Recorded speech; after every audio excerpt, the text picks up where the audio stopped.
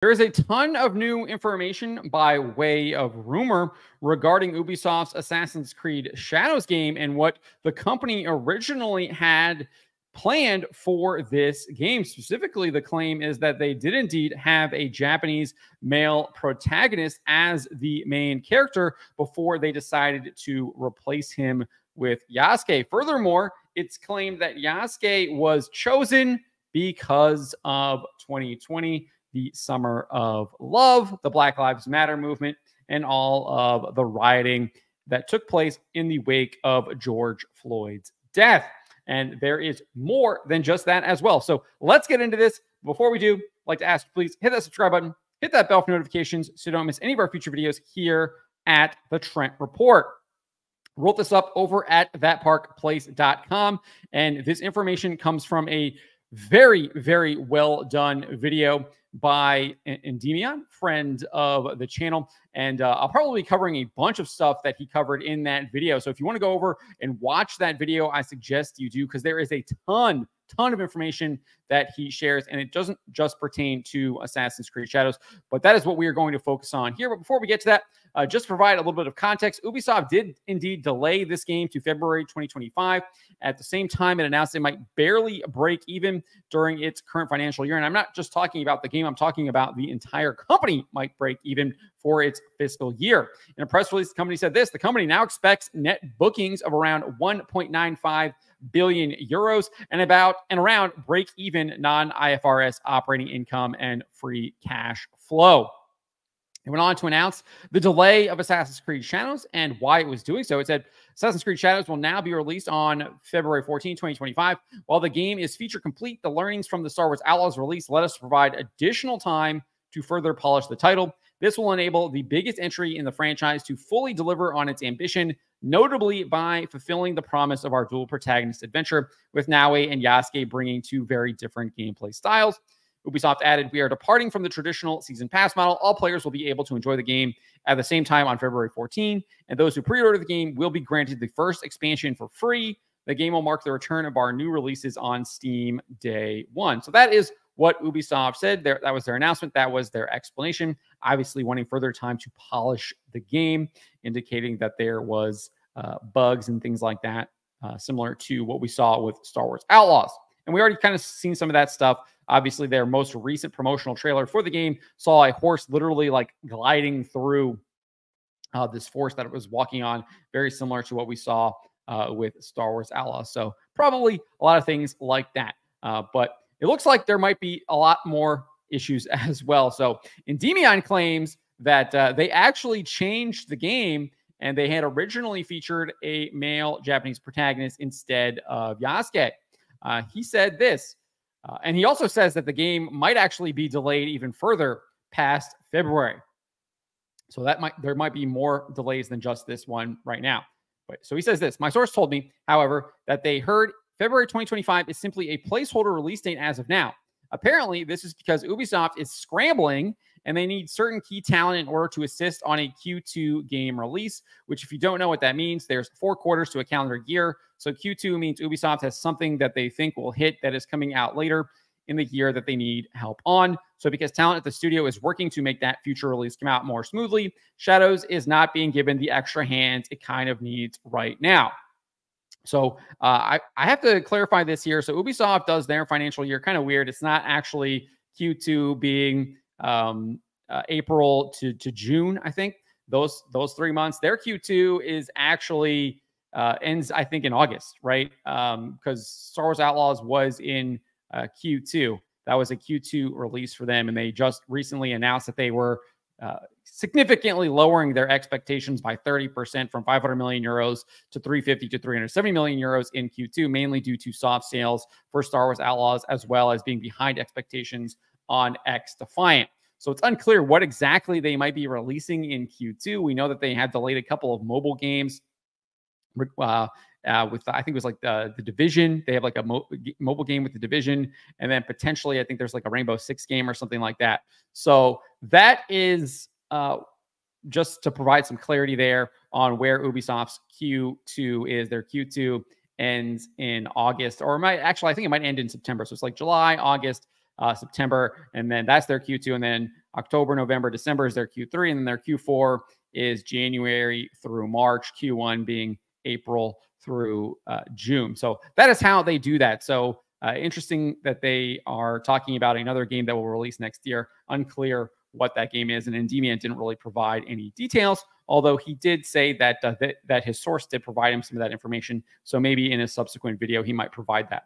But he also said so. Like I said, the release date may actually be pushed back even further, so we might see Shadows actually get pushed back maybe into Q2 uh, for Ubisoft next year, potentially even Q3, maybe pushing back an entire year. We'll see. Uh, we have heard from financial analyst Valiant Ren- Renegade saying that the reason they put it into uh, February is because their year obviously ends uh, in March and they want to be able to say that they can indeed break even. So they're going to try and get as many sales as they possibly can from Assassin's Creed Shadows, or maybe they're just trying to dupe investors at this point. Wouldn't put it past them. Whereas, like, hey, we're significantly lowering our revenue expectations for the entire year. And that is because we're delaying Assassin's Creed Shadows. But even if they don't even release Assassin's Creed Shadows in that year, you can expect that that revenue would be even down even further. And that stock could go even further as well. Obviously, we know uh, there seemingly now is a hostile takeover uh, at place, or at least trying to get the uh, Guillemot family to sell Ubisoft, take it private. So we'll see what happens there. Lots of moving parts on that end. Uh, Endymion then revealed his source told him the game originally featured a Japanese male protagonist. He said this I was also told when they originally saw the game, there was indeed a male Japanese protagonist with their own finalized art and even animations. They don't know if this character will be reintroduced to replace Yasuke, but they are skeptical that Ubisoft will actually remove Yasuke altogether due to the whole political, you know, backlash they'll get from journalists and so on. I 100% agree. I don't think that Yasuke is going anywhere. Uh, I think they're going to keep him as the main protagonist uh, and Naoe as well. I just don't think that they're going to really be fundamentally changing this game uh, at all. I think what they are saying is what we're going to get. And uh, I do think they're probably just trying to polish the game. I don't expect any massive, massive changes uh, coming from Ubisoft. Uh, Endymion then shared details about the game. He says they did say that the game's first act is heavily story driven until it eventually opens up to your more traditional open world Ubisoft experience, and that the big hurdle there, if they were to remove Yasuke, would be to practically change almost everything about Act One, so to speak, if they were to remove the character entirely. So again, obviously, another piece of evidence here. Uh, obviously, this is rumor, but I do think this kind of reinforces my opinion that uh, it's unlikely for them to change uh, the game, fundamentally change the game by removing Yasuke. We know Ubisoft has their big DEI policies. Yasuke, I think, is clearly part of that. So I don't expect them to really change this game uh, whatsoever. It, it is interesting though because they did delay it, but I'm not really sure that they understand why why people uh, aren't interested in purchasing this game. There's been so much backlash because uh, we've seen numerous reports that these people really don't even listen to uh, what people are saying. They see it as kind of just toxic gamer noise. We've seen a rumor regarding that from inside Ubisoft as well.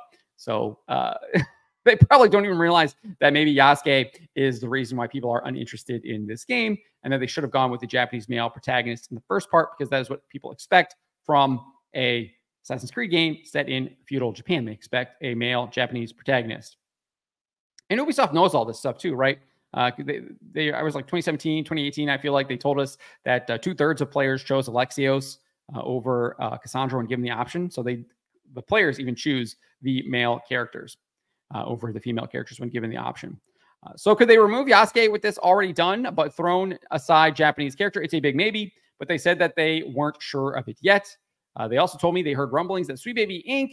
may have had a hand in Shadows, but they can't confirm that 100% yet. So take that allegation with a huge big fat shot of skepticism right now. Okay. I, that would not surprise me. We know that Kim Belair and uh, the, the, CEO of Sweet Baby Inc., she previously worked for Ubisoft. Uh, I believe Ubisoft is listed on their website, and I think they worked on Valhalla with them. So the fact that they would work on Shadows uh, would not surprise me at all. And I think the Shadows is being worked on by their uh, Canadian team, the Quebec team. So, and that's where Sweet Baby Inc. is located. So uh, the fact that Sweet Baby Inc. would work with them is that would not surprise me whatsoever. Again, this is ground zero for Sweet Baby Inc. is Ubisoft. As for when this male protagonist was sidelined, Endymion said this the game did first include a male Japanese main character, but they were swapped sometime during 2020, according to my source, for Yasuke instead.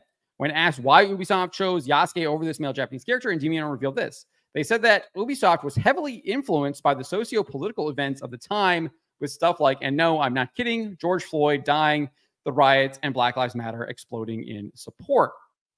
Ubisoft may have opted to include Yasuke in order to pander to identity politics because of Black Lives Matter. I think that's uh, abundantly obvious by the fact that they chose an African character to be the main character in a game set in feudal Japan. There's really no other explanation for this. If you look back at their history, they always choose characters that are located in the or from the setting that the games take place in. Now, obviously, you can argue that Naoe is from uh, is from Japan, but they typically have a male protagonist uh, from that uh, location, and uh, they do not. They do not uh, in this game. So I, I, think it's very clear that this is the case. This does not surprise me whatsoever. And we've seen multiple studios actually say that they were inspired by a lot of what happened in 2020. Uh, in recent uh, in recent days, uh, obviously, I think Dustborn being one of them. They actually go back to 2016. It's like the political campaign there. The, the developers did. So the idea that this is happening now for games that have been in development for four or five years is not surprising uh, because that was all over the press and media. It was also at a time when uh, a certain uh, ideological faction controlled much of the Western world when it came to the media uh, and specifically social media. That has uh, significantly changed due to Elon Musk purchasing uh, X and taking it, I think he's taking it private now. So, that has changed. That has changed significantly, and so that kind of those echo chambers uh, have been significantly eroded, and uh, that uh, dominating narrative is no longer as dominating as it once was, despite it still controlling many of the levers of power, whether that be in government, whether that be in these corporations, and whether that be on competing social media um, companies, as well as elsewhere. And we've seen a lot of that erode, right? We've seen a lot of this woke agenda being eroded. Robbie Starbuck has done a really good job in corporate America, where you look at things like Tractor Supply, John Deere, et cetera. I think his latest target is Toyota. We'll see how that goes. Ford has uh, made changes. So uh, lots of things are happening that are eroding this uh, woke ideological agenda in a lot of these uh, corporate spaces. But it's obviously still there, still massively infecting, especially uh, the entertainment sphere, where you, when you look at companies like Amazon, the Walt Disney Company, and then these major video game companies such as Activision, Microsoft, uh, Ubisoft, etc., Sony, clearly all bought into this stuff too. Um, probably a, a, big stalwart area. But let's continue here. Endymion then shared that his source informed him that Ubisoft, quote, was horrified by the response to Yasuke from the fandom, and they actually thought including him would be a really big selling point for the game. They apparently believed by inserting Yasuke that they could garner and pander to the modern audience that we know does not exist. They're trying to create this. Been saying this for a while now. They are trying to create the modern audience. That's why they create a lot of these games is to indoctrinate people into these ideologies at a young age. Their slogan is literally from The Last Jedi let the past die, kill it if you have to. And then they add on, we will rewrite history in order to make it so that the history that we are telling has always been that way. Woke has always existed. Everything has always been woke. It was always woke to begin with. That is uh, how these people operate. Uh, and they are constantly finding some way to uh, continue their revolution against reality because that is what they are in the end fighting against and uh, they will lose they will lose um, because uh, they're fighting reality and they're fighting the truth and uh, the truth stands opposed to them Interestingly, one of Endymion's source, source, sources also provided, provided him information on why Ubisoft decided to delay the game.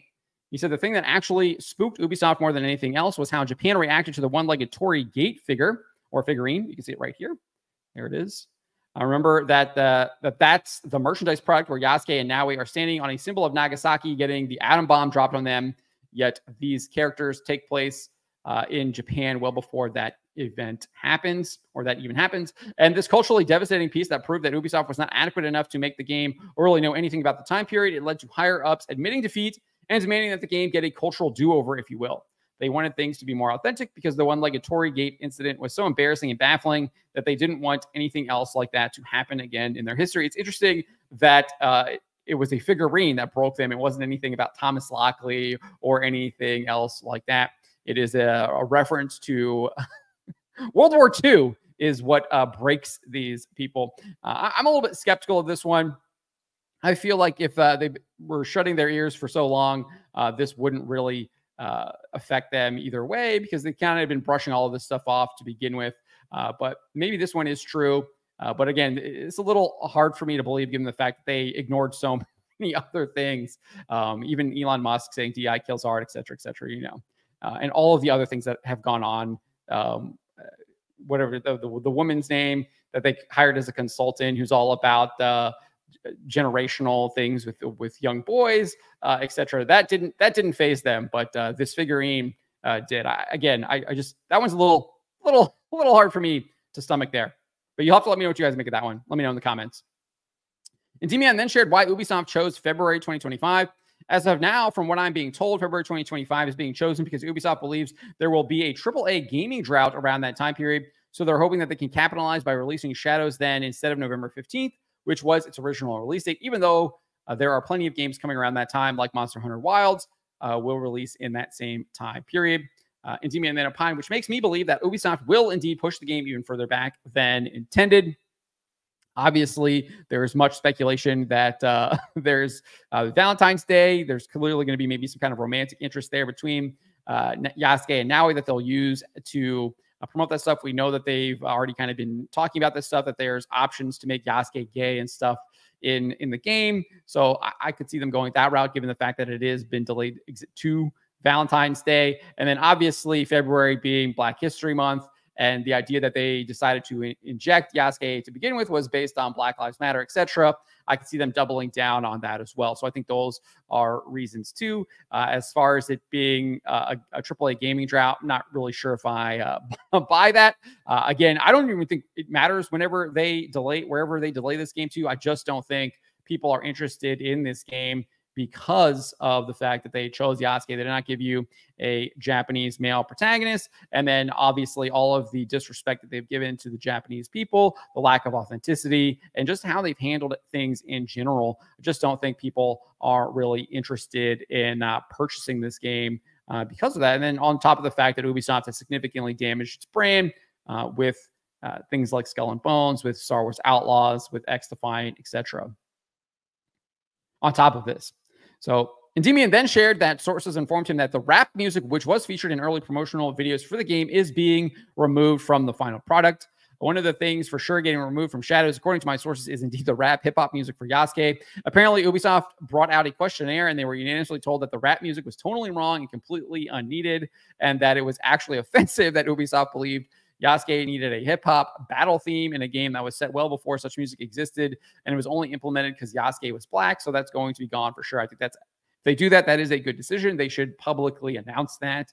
Uh, that should not be something that you just find out in the game. I think that would actually do a lot to uh, garner support for, for Ubisoft if they do indeed uh, recognize that that was a mistake and change that. And I do think people are willing, even myself, are willing to recognize when these companies do uh, good things. We saw this with Sonic the Hedgehog, the, the film, uh, they changed the character design, made it more look like Sonic instead of that furry abomination that they had created.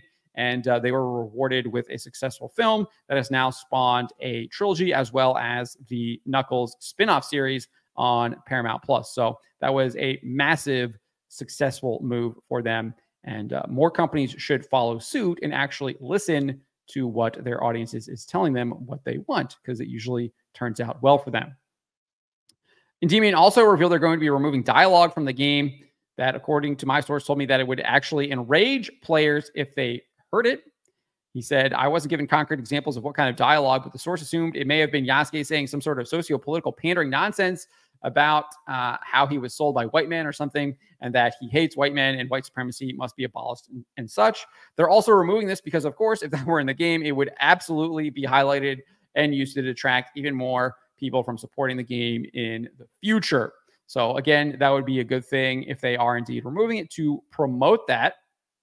But obviously, it still shows uh, where Ubisoft kind of is or was uh, in regards to pushing all of this DEI stuff and what their real agenda actually is, right? Because that's what the DEI agenda is all about. It's all about hating a specific group of people and trying to then claim that you're all inclusive when you're literally uh, based on hating a certain demographic. This is sick stuff. So that is what Endymion had to say about Assassin's Creed Shadows. Uh, as I said, th- this video that is here in the article. I'll have the link in the description below, which you can watch. I highly recommend watching it. There is probably about eight more uh, significant pieces uh, of information that I might write articles about, might do videos on from this video. That is how uh, much information he was able to garner from his various sources at Ubisoft uh, regarding upcoming Assassin's Creed games, regarding the state of Ubisoft in general, uh, kind of confirming some of the previous rumors we've heard, or at least providing uh, more uh, collaboration on those, and that might not not collaboration, but uh, corroborating pieces of rumors towards other rumors that we've seen, talking about the brain drain and things like that, and just how uh, terrible the the company is uh, when it comes to actual talent levels and things like that. So look forward to those articles, look forward to those videos. But again, uh, if you want to watch uh, Endymion's entire video here, I highly suggest doing that uh, chock full of information right there. But let me know what you guys make of what uh, his sources in, informed him about Assassin's Creed Shadows. What do you make of this potentially getting delayed even past February and uh, some of the changes that they are making? And uh, the fact that they seemingly had a Japanese male protagonist but chose to sideline him because of the Black Lives Matter movement. Let me know in the comments below. Remember to always be charitable, especially to each other, but to always speak the truth.